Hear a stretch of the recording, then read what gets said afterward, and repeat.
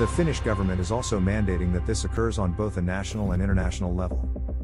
The government of Finland has opted to mandate Gasgrid Finland to promote domestic hydrogen infrastructure development and international cooperation. The state owned company must also promote the H2 market throughout the H2 market in the Baltic Sea region. Gasgrid Finland must not only begin focusing on the national and international hydrogen infrastructure and regional market, but it is also required to do so as soon as possible.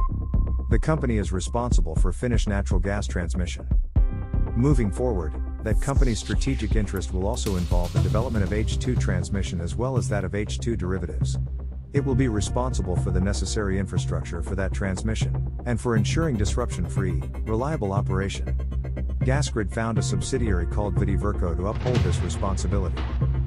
The new hydrogen infrastructure responsibility will accelerate Gasgrid Finland's existing project development. Through the new mandates, Gasgrid Finland will have the opportunity to place a greater focus on the development of projects it has already started and that are currently underway. This includes the Nordic Hydrogen Route, Bothnian Bay, a cross border project between that country and Sweden. The goal is to establish a pipeline network within the region of Bothnia Bay. In order to promote an H2 economy's development, Gasgrid Finland has also launched an H2 transmission demo project targeting the use of H2 byproducts from Kemira at Ivaco's Imatra mill.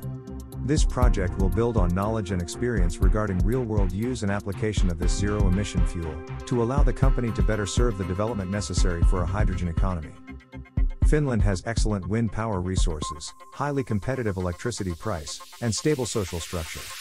Advanced energy networks will enable Finland's competitiveness on the global market and the creation of value chains, investments, and jobs in the hydrogen economy, said Olli Sipilä, CEO at Gasgrid Finland, in a recent news release about the new government hydrogen infrastructure mandates. The latest European Hydrogen Backbone EHB, analysis shows that the potential of the region of Finland, Sweden, and the Baltic countries, i.e., the supply corridor D, is significant.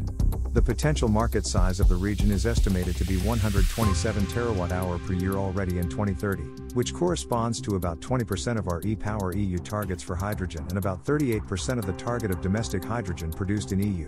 Hydrogen economy is, therefore, a very significant opportunity to the countries around the Baltic Sea with great renewable energy resources, space, and forerunner position in the development of sustainable technology solutions, added Sarah Karki, Gasgrid Finland head of strategic analysis and R&D in the same release. Thank you for following Hydrogen Fuel News. Make sure to hit subscribe and click the link within the description to get our free ebook.